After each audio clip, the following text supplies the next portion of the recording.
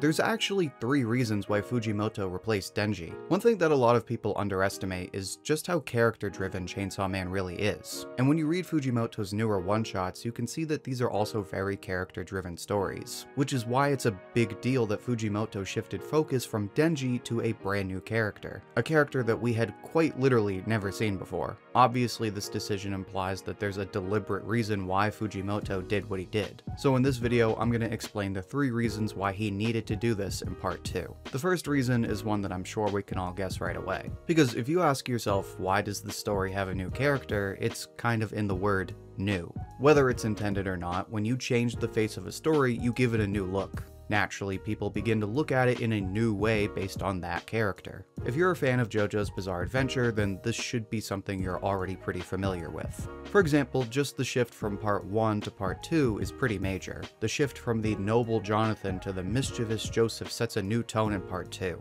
shifting from a very tropey good versus evil story to a story where the main character often runs away from fights, and uses underhanded tricks to beat his opponents. In short, it changes how people view JoJo's. So we can assume that Fujimoto wanted to give Chainsaw Man a new look in part 2. But the question becomes, what exactly was he trying to change? Well, one thing that immediately stands out is the shift from a male character to a female character, which could have been for a number of reasons, but we have to remember that this is Denji we're talking about. And what's the first thing everyone notices or remembers about Denji? It's how he always seems to be chasing after girls. If it's not Makima, it's Himeno. If it's not Himeno, it's Reze. So much so that it's almost impossible to mention Chainsaw Man and not think of Denji literally barking at girls. Naturally, this immediately changed when we moved to Asa. To be fair, it's not like she's completely different. We see her being jealous over a couple at school in chapter 1. But it's obviously quite different from barking at every girl in sight. There's still that desperation, but it's a lot more reserved. As a result, Part 2 retains that focus on relationships and isolation without it always having to revolve around sexuality. Another way Fujimoto changed things up was by giving us a look into the main character's conscience. It's something I'm going to dive a bit deeper into when we get to the third reason why he replaced Denji, but it's something I have to point out right away, because it's an obvious change and yet one that still gets overlooked. Denji did not have this kind of introspection. He would reflect on the events of the story, but very rarely would he have an extensive inner dialogue. Now, it's a regular thing to see Asa and Yoru discuss something that just happened in the story. It might seem like a minor change, but it really does change the tone of the story. But like I said, we'll get more into why that is later in the video. On that note, let's talk about the second reason why Fujimoto replaced Denji. Actually, before I do that, make sure to like the video if you've been enjoying it so far. It's the easiest way to support the channel, and it helps spread the video to other viewers like you.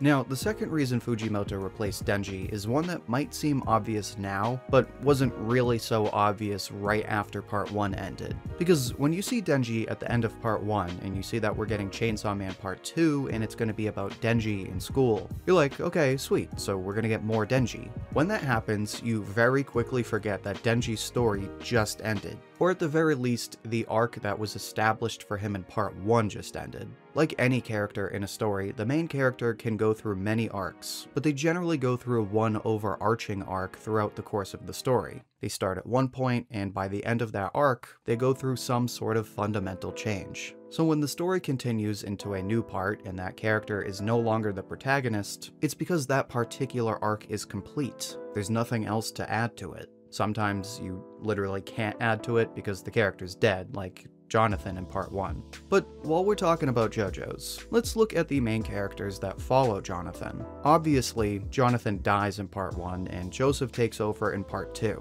But when we move to part 3, Joseph, as geriatric as he is, is still very much alive.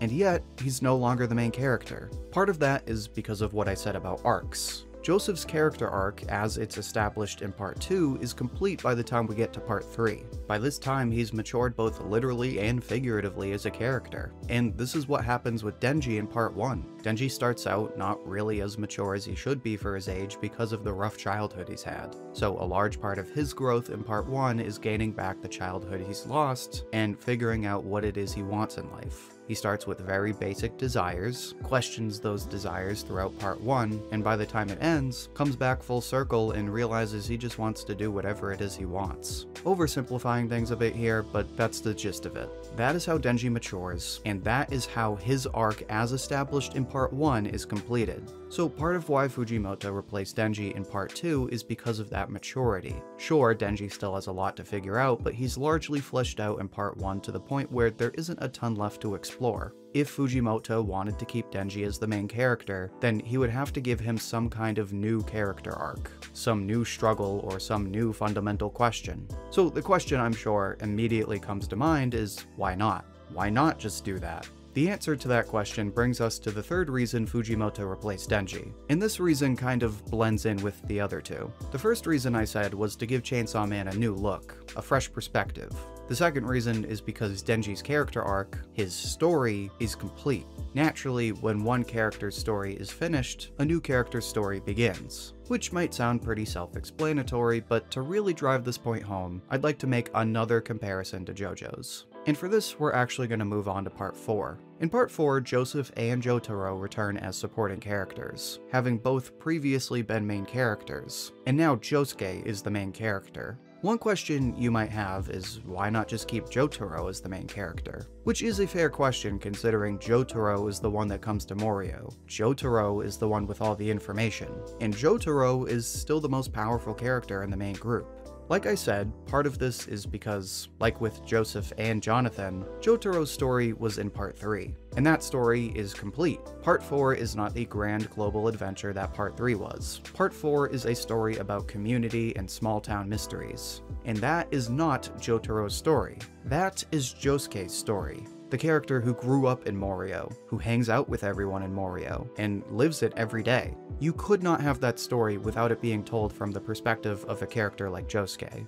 So that's what I mean when I say one character's story is over and a new character's story is beginning. The author wants to change the kind of story they're telling, and so they use a new character with that new perspective to do just that. And for those of you who are like, well, that doesn't really apply to Chainsaw Man because it's still the same story, let me just stop you right there. Like I said earlier, Chainsaw Man retains a lot of what fans enjoyed about Part 1 in Part 2, but we're only like 30 chapters in, and Part 2 already feels very different. And that's because we're no longer following Denji's story. Denji is still a major player, but we are following him from the outside. This is now Asa's story.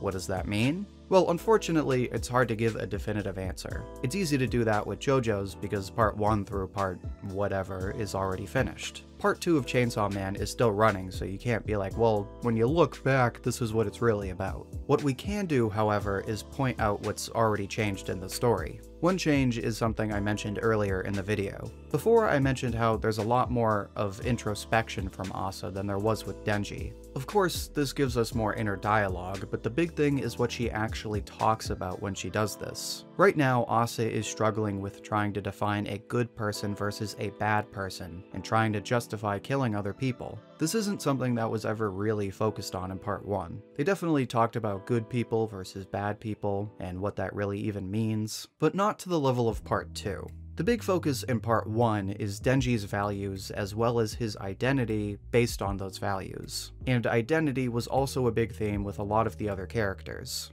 Identity and individual values are still very much a part of part 2. But now there's also more focus on the good versus evil stuff and when you can kill someone and all that. If I were asked to break it down, I'd say part 1 focused on morality and mixed in some ethics, while part 2 focuses on both. Like I've been saying, it's not a huge change, but it does set a new tone. It changes the kinds of conversations the characters have, and as a result, changes the overall feel of the story.